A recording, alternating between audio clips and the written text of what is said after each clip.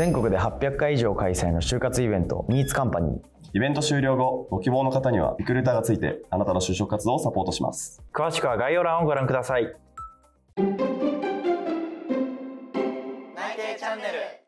ベテランチ圧迫面接チャレンジ何ですか？ということであの僕さっきも SPA でボコボコにされたりとか日々ツッコミされたりとかでイライラしてるんで ベテランさんにはたまにはちょっと苦しんでもらいたいなっていうふうに思って今回は株本さんと熊谷さんがいつもやっている面接チャレンジっていうのにちょっと挑戦してもらいたいなっていうふうに思います。僕の予想なんですけど多分ベテランさん言っても頭だけなんじゃないかっていうふうに思うんでなるほど。就活生のつもりになってちょっとチャレンジしてみてください。僕はだから就活生の手でやってで圧迫されてストレス味わえよという、はい、今回過程としては、はい。ストックさんに新入社員として入るっていう体ではいはいはい。いきたいと思います、はい、それに合わせた死亡理由とかをなんか用意して喋るそうおっしゃる通りです。めっちゃ厳しい。な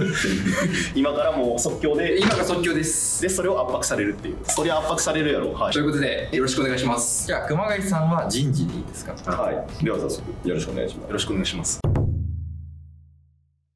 簡単にじゃあ自己紹介お願いしはい。ます。ベテランチと言いまして今東京大学医学部の4年生で本当は違うんですけど来年から社会人ということにさせていただいて今25歳なんですけどストックさんに入社したいと考えて今回させていただきました。よろしくお願いします。学生時代はどんなこと頑張ってきましたか？はい、主に YouTube とあと単価を頑張ってまして YouTube って普通に YouTube のチャンネル自分で運営してたんですけど企画から編集から全部自分一人でやってるというところで登録者が大体15万人ぐらいいたりとかあと友達と10万人ぐらいあるチャンネルやってそっちでは結構人を雇ったりとかマネジメントじゃないですけどそういうこともやっておりました医学部入ってるなんでそんなまた様々なことが来るんですか医学部入った時は進路あんまり漠然としていてで、まあ、結構親との話し合いとかもあって医学部行っといた方がいいんじゃないか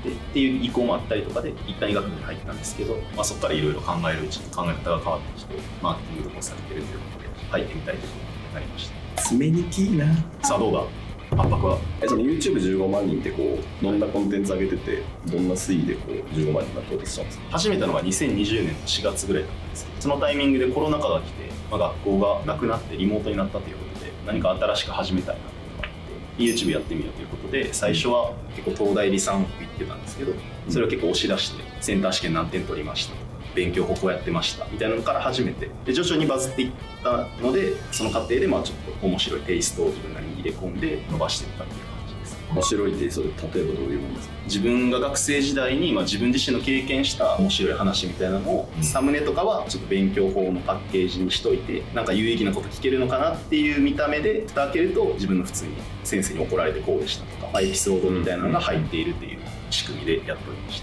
た、何のためにそれやってたんですか？まあ自分の中で勉強以外で一個結果出してみたいっていうのがすごいあってでまあ何でもよかったといえば何でもよかったんですけど YouTube って結構俗っぽいというか一番その高学歴みたいなところから離れてるかなと思ったのでいろいろ経験というか学べるかなと思って YouTube を選んだらたまたま当たったので今に至る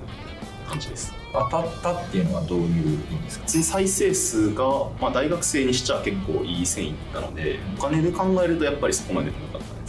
まあ、手応えは結構あったそれで、はい、仕事するとなったらやっぱりきっちり稼ぎたいなっていうふうに考えて、まあ、割と新品性もあるかなっていうことでウェブのマーケティングっていうことでストックさんようになりなんで伸びたんだと思います？基本的には東大理産っていうのがもちろん一番大きいとは思ってるんですけど基本東大理産で始める人って勉強法で始める人が多いんですけど、まあ、それがもちろん一番の売りなんで当たり前なんですけどそれだとやっぱ受験生とかターゲットが狭まっちゃうかなっていうふうに考えたので入り口の見た目は勉強というか有意義なことが学べますよっていう見た目なんだけど中身は誰が見ても楽しめるようにするっていう作りになったのが光ったかなと思ってます。それが見ても楽しいっていうのはどういうことですか？まあ、今僕がチャンネルでやってることは例えば高校時代灘高校っていうすごい偏差値高い高校でこういうことありましたよって面白い話したりとか友達と喋ってるところを見せたりとかなんですけど表面的な引きは偏差値が高いっていうところにあるんですけど根本としてはなんか楽しい思い出とか青春の感じみたいな割と普遍性のあるものに表面にその賢みたいなのを乗っけてるっていうところが見やすいのかなと自分では思ってます。ベテランさんが企画をプロデュースしたらどんな人でも伸ばせますか？まあ、全員とは言わないですけどでもある程度マスというか初見の人にそのコンテンツが持ってる魅力を見やすく伝えるっていうことはできるのかなと思ってます。マーケティングの仕事って他人を売るっていうことになるのでそうです。なぜベテランさんが自分なりに結果を出したと手応えがあったのかっていうところがもう少し言語化されてほしいなと思うんですけど。はいはいはい。それで言うとそうですね。今回自分のチャンネルで言うと東大理さんっていうテーマですけど僕の親とかそんなに学歴がめっちゃ高くなかったっていうのがあって割と一般人目線みたいなところが他の東大生と比べて自分の中にあったからうまいこと切り売りしてコンテンツができたかなって思って他の人の感覚でそのものを見るっていうことは東大理さんっていうテーマじゃなくても応用はできるかなと思ってるので他のお客さんとか来てもこういうコンテンツだったらじゃあこういう売り出し方するのがいいんじゃないですかっていうのはできるかなと思ってで親が金持ちのエフランだったらどうします？それはまあ一般人目線でそのエフランのやつがどういうふうに見えそうかっていうのを本人のパーソナリティ雰囲気とかを見て嫌味っぽい方向で売っていくのか。それともめっちゃ金持ちだけど意外と親しみやすいで売っていくのかっていうのをいろいろ考えてまあ本人と話しながらかなと。闇っぽかったらどうします？嫌味っぽかったら例えばですけど僕がスタッフでついて1個客観の視点を動画に載せちゃって編集でこうそいつを下げるようにするとかそいつ一人で喋らせるんだけどなんか動画の見た目でそうならないようなコンテンツみたいなのを1個入れるといいのかな。それなんでそう思うんですか？見てる人動画で突っ込んでいきたいと思うんですけど嫌味な人がいたとして。それをこういう風に楽しむんですよっていうガイドラインみたいなのを引いてあげると、まあ、一般人とか動画で見てるだけの人にも楽しみ方が伝わりやすくなるかなと思うっていう感じです。はいということで面接やってもらいましたが株本さん熊谷さんこの面接合格か不合格か判断お願いします。合格です。だと思います。よし。よし。やった。えあやっ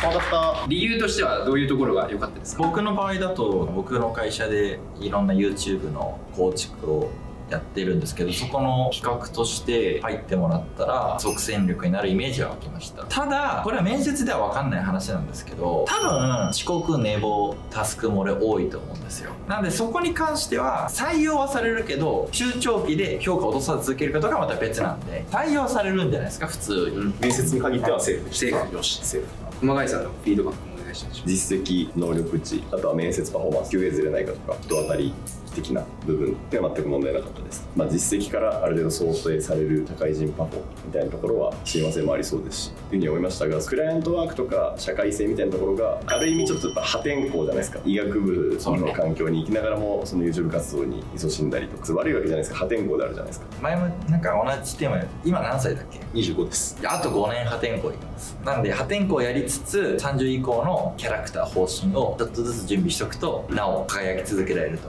ですね。30過ぎたら破天荒はちょっと痛くなる。ん。でこれはだ全員に言えるんですよ20代 YouTuber まあまあなんか似たような話もしてるんで割愛しますが。なんですけどうん。喋りがうまいって要は相手のこう何考えてるかとか今どこまで理解してるかっていうのをまず予想しつつで説明することもまず自分の中で全体を一回頭の中で咀嚼してそれをこう順序立てて話せるっていう、まあ、全ての能力というかが凝縮されてるのが会話能力説明能力だったりするんで、まあ、そこはさすがですね。ありがとうございますよし絶対今日怒られるかと思ったんですけど。でも面接にしちゃったからだって実績言えちゃうからさ。もっとその東大理さんがなくなるフィールドで圧迫してもらうようにしたらいいんじゃない俺をいじめたいんやったら。確かに。まあでもその離散云々の置いといて、なんでうまくいってるんですかっていう言語化だったりとかガイドラインを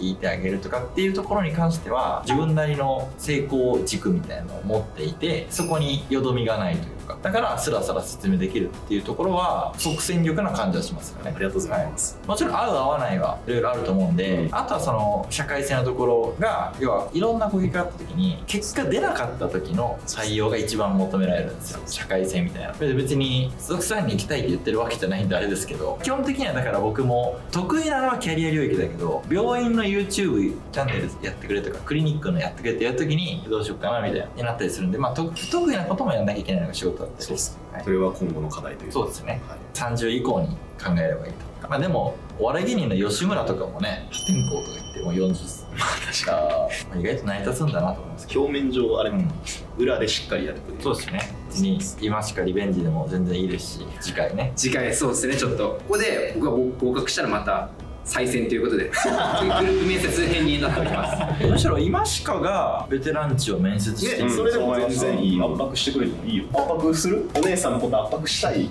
そうとい。うこ